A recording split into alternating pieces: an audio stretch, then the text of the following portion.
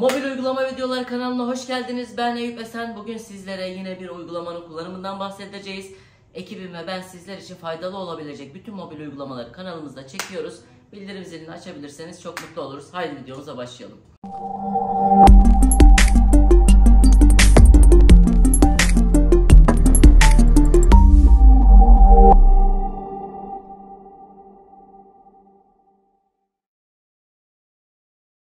Merhabalar mobil uygulama videoları kanalına hoş geldiniz. Bugün sizlerle Papara uygulamasında yuvarla özelliğinin ne olduğundan ve nasıl uygulayamayacağımızdan bahsedeceğim. Hazırsanız videomuza başlayalım. Videoya geçmeden önce eğer bu videoyu cep telefonlarınızdan izliyorsanız tam ekran almanızı tavsiye ederim. Haydi videomuza geçelim. Öncelikle arkadaşlar uygulamaya giriş yaptıktan sonra ödemeler menüsüne giriş yapıyorum. Burada gördüğünüz gibi birçok seçenek mevcut. Buradan yaptığımız ödemeleri örneğin 99.75 TL'lik bir ödememiz oldu. Bunu 100 TL'ye yuvarlayarak birçok kuruma bağış yapabiliyoruz arkadaşlar. Papara kart seçeneğine giriş yaptıktan sonra yuvarla menüsünü görüntülüyorum burada. Gördüğünüz gibi yuvarla özelliği sayesinde buradaki kurumlara bağış yapabiliyoruz arkadaşlar. Aynı şekilde örneğin son dönemde gördüğünüz gibi deprem nedeniyle birçok kuruma bağış yapılıyor.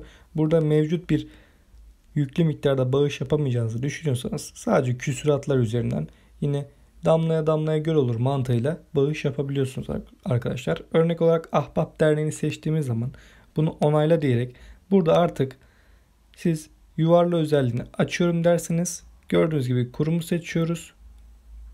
Ahbap Derneği için artık yuvarlama özelliğini aktif hale getirdik arkadaşlar.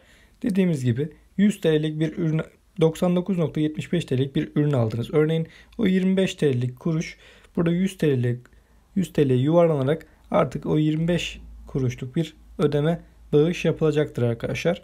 Aradaki farklar burada birçok kişinin burada bu özelliği aktif hale getirdiğinde aslında çok fazla bir meblaya denk geleceğini göreceğiz arkadaşlar. Çünkü birden fazla insanın bunu uygulamasıyla bu kurumlara daha fazla bağış toplanacak ve bu sayede deprem sonrası mağduriyeti gidermek için aslında iyi bir özellik olacak arkadaşlar. Buradaki özelliği kapatmak isterseniz küsuratların yuvarlanıyor seçeneğini kapatabilirsiniz. Gördüğünüz gibi bu özelliği dilediğimiz zaman tekrar aktif hale getirebileceğimizi söylüyor burada.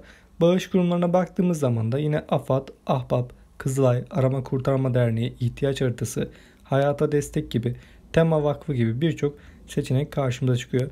Burada sizin istediğiniz kurumu seçtikten sonra küsuratı yuvarla seçeneğini açarak burada ilerleyebiliyorsunuz arkadaşlar. Siz de bu uygulamadan bu sayede faydalanabilirsiniz. Evet arkadaşlar videomuzun sonuna geldik. Bizi izlediğiniz için teşekkür ederiz. Kanalımıza abone olarak bizi destekleyebilirsiniz. Bir sonraki videoda görüşmek üzere. Hoşçakalın. Bir mobil uygulama videoları kanalının sonuna daha geldik. Ben Eyüp Esen ve ekibim sizler için kaliteli ve faydalı olabilecek birçok mobil uygulama videosunu bu kanalda çekiyoruz. Siz de destek olmak için bildirim zilini açabilirsiniz. Tabii ki de bildirim zili abone olmaktan daha önemli. Şimdilik hoşçakalın.